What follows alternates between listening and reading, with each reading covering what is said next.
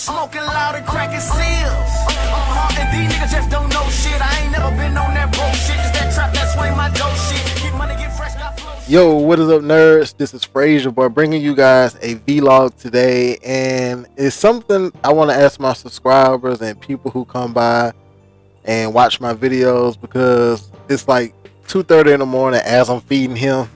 like th- this is one of the main reasons why my channel has been getting like two to three videos a week the last three weeks because of him. Yeah, you slowing stuff down around here. But anyway, um, I'll, I figured out a way to where I could post every day, and I'm gonna make all that good stuff happen. I'm gonna say that for the next vlog. But anyway, today I want to ask you guys something that's very, very like serious to me. It's like, should I sell my Xbox One for a PS4? Like, should I switch over to the dark side, to the PS4 life? Because my Xbox One is collecting dust, even though I know the PS4 doesn't have like too many games on it at the moment either. But overall, like all the reviews and everything I watch, it seems like the PS4 is going to be the mo- most dominant thing, like as far the most dominant console as far as like when it comes to playing games, like to get the best resolution and best experience in in, in a game. And I'm really not satisfied with the Xbox One at all. The interface is horrible. My Xbox One freezes a lot. Um, I barely turned it on. I turned it on today. I probably haven't turned it on in like a month, and I, I've been playing at 360 more than I play the Xbox One. And I turned it on today, and it like froze on Call of Duty Ghost. Take a quick break, and it like froze on Call of Duty Ghost. And I had to like hold down the power button, then redo it again, and and it's becoming like annoying. Like it, it doesn't. This game, my God,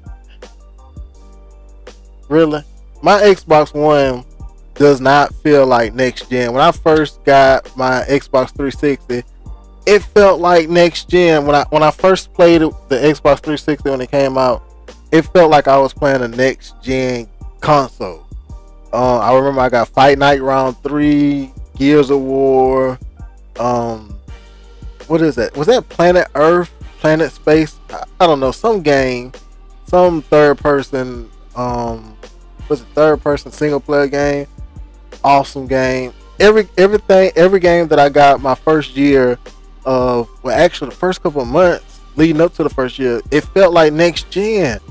But this game does not feel like next gen. I, I'm gonna get Watch Dogs, but it's like, do I trade my Xbox in and get Watch Dogs on the PS4 and play with um, one of my good friends that has PS4, or do I save the Xbox 360, uh, Xbox One, get Watch Dogs on Xbox One and play it on now?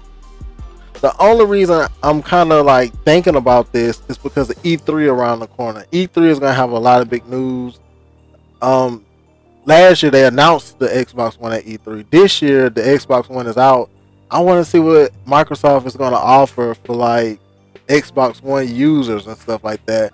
Since the console wars has been going on and everybody's unhappy with Microsoft, so it's like I want to trade it, trade in my Xbox One for PS4 to get Watch Dogs on it, but it's like I don't want to do that. Then E3 come around, and I'd be like upset when I see something big that Microsoft has going on, because it's like I don't want to buy rebuy Xbox One once I already have. If I send it back, I'm not, I don't want it again.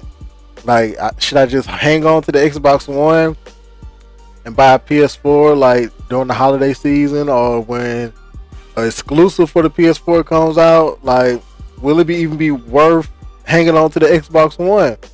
Like, I'm not sure. This is something that's really been bothering me because I'm ready to. Come on.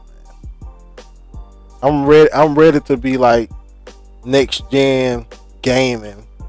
You know, and I'm ready to make good content for for games I like. Like I like Call of Duty Ghosts, but if I liked it the way I liked it Gears of War 2, I'll be able to make better content, more content because I'll be so into it.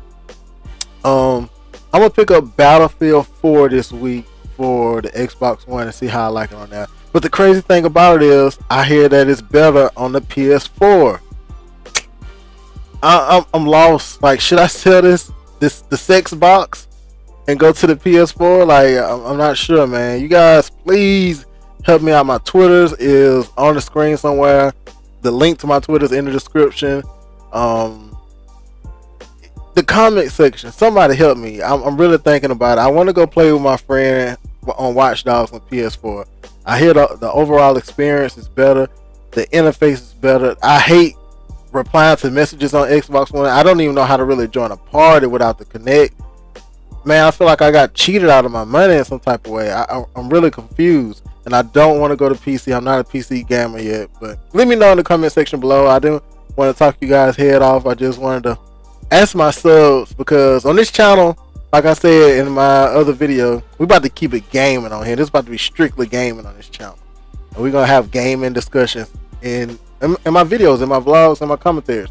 So I will see you guys in the next video. Leave a like, leave a comment. Tell me should I sell my Xbox One for a PS4 because I'm lost and I'm confused and I need help. I've been thinking about this. It's 2:30 in the morning. I'm feeding my baby a bottle and I'm thinking about selling my Xbox. And the controller sucks, Microsoft. The Xbox One controller sucks. Tell him. Tell him this this shit sucks, son. It sucks. Yeah, he said it, it sucks.